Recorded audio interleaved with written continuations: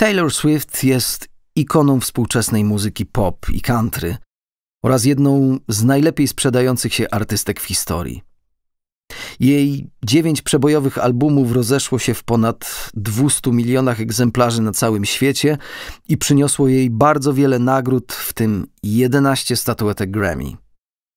Nie tylko pojawia się na listach piosenkarzy i autorów tekstów piosenek wszechczasów, jej wpływy sięgają dużo dalej, poza muzykę. Taylor Swift pojawia się na takich listach jak Time i Forbes Celebrity. W trakcie swojej kariery Swift nakręciła pięć filmów dokumentalnych pokazujących, w jaki sposób przebiega jej proces twórczy pisania utworów.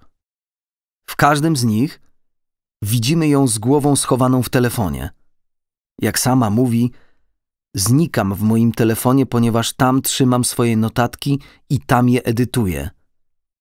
W swoich notatkach może zapisać i ponownie przeczytać, dokonać edycji i ułożyć – każdy skrawek tekstu lub melodii, który przemknie jej przez umysł. Notatki może zabrać wszędzie, mieć do nich dostęp z każdego miejsca i w ciągu kilku sekund wysłać je do szerokiej siatki producentów i współpracowników używających tego samego urządzenia.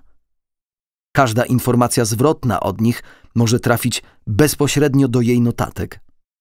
W wywiadzie, którym opowiada o tym, jak napisała hit Blank Space, Swift mówi: Zajmuję się swoim codziennym życiem i nagle myślę: wow, więc mamy tylko dwie opcje w związkach. To będzie na zawsze albo spłonie. I zaraz zapisuję to w moich notatkach. Wymyślam frazy, które wydają mi się zgrabne, jak y, kochanie jestem koszmarem ubranym w sen i po prostu sortuję je i umieszczam tam, gdzie pasują.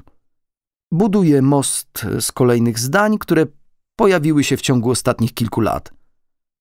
Blank Space było kulminacją wszystkich moich najlepszych fraz, jedna po drugiej. Dla Swift pisanie piosenek nie jest czynnością odrębną, którą może wykonywać tylko w określonym czasie i w określonym miejscu. Jest to efekt uboczny sposobu, w jaki pracuje jej umysł, snując nowe metafory i zwroty w najbardziej nieoczekiwanych momentach. Jestem zainspirowana do pisania piosenek o każdej porze dnia, kiedy przez coś przechodzę lub kiedy opadnie kurz i mam to już za sobą. To może być cokolwiek.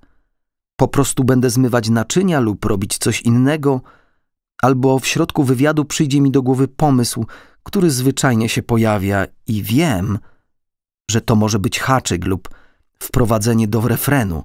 To jest pierwsza linijka.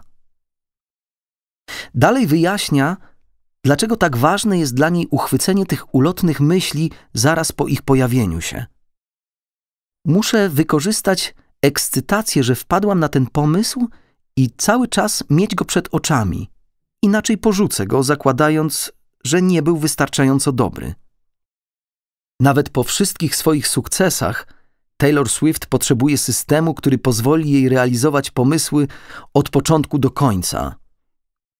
Poprzez integrację czynności notowania z codziennym życiem, artystka jest w stanie używać języka i analogii, które są zakorzenione w codziennych uczuciach i doświadczeniach, tworząc potężną więź ze swoimi fanami, którzy nazywają siebie Swifties. Słuchanie albumów Swift jest jak podążanie za nią w podróży odkrywania siebie. Każdy album jest kroniką tego, czego doświadczyła i kim się stawała na każdym etapie swojego życia. Historia ta pokazuje, że nawet najbardziej utytułowani i płodni twórcy potrzebują systemów wsparcia, aby wykonywać swoją pracę. To nie jest kwestia posiadania wystarczającej ilości surowego talentu. Talent trzeba ukierunkować i rozwinąć, aby stał się czymś więcej niż tylko chwilową iskrą.